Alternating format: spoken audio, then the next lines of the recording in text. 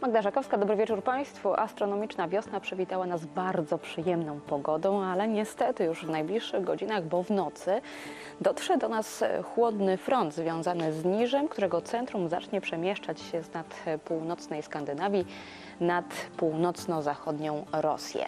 No i z zachodu popłynie teraz chłodniejsze niż do tej pory, bo atlantyckie powietrze.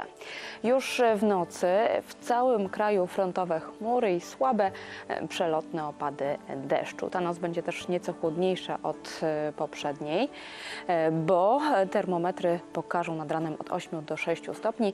E, Chłodniej może być na północnym wschodzie i oczywiście na przedgórzu Karpat. Tam temperatura spadnie od 5 do 2 stopni. Oczywiście w przerwach między opadami możliwe przejaśnienia.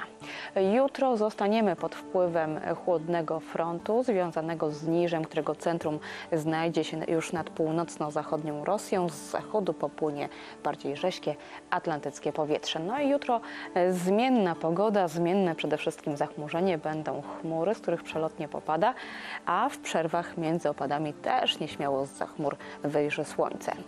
Na termometrach jutro od 8 do 11 stopni, te 11 stopni wzdłuż zachodniej granicy, e, chłodniej e, w pasie wybrzeża, na Suwalszczyźnie i na przedgórzu Karpat, tam od 5 maksymalnie do e, 7 stopni. E, Powieje z zachodu na ogół umiarkowanie. Co w regionie? Otóż tu w nocy też zaznaczą się frontowe chmury, e, z których już e, popada deszcz. Nad ranem na termometrach około 6 lub 5 stopni wiatr zachodni będzie umiarkowany.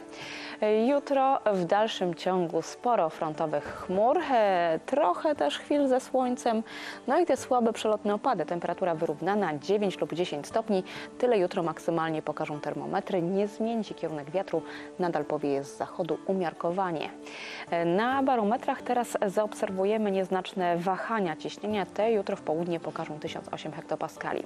Od środy znów cieplej, bo do 14 stopni, a na niebie przeplatanka w kolejnych dniach. Słońca i chmur, z tych chmur może od czasu do czasu przelotnie pokropić.